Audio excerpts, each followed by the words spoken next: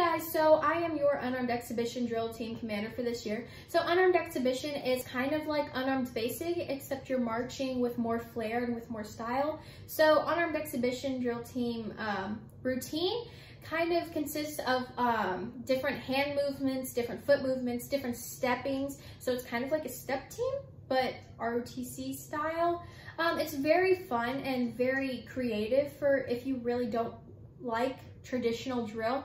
Um, I really enjoy the team and everyone who's on the team really enjoys it. We have a really fun time. You get to know all of your teammates and you work together and you create a beautiful routine. So I hope if you guys come out uh, for this drill team, you'll enjoy it as much as everyone else on the team. So I hope to see you guys there soon.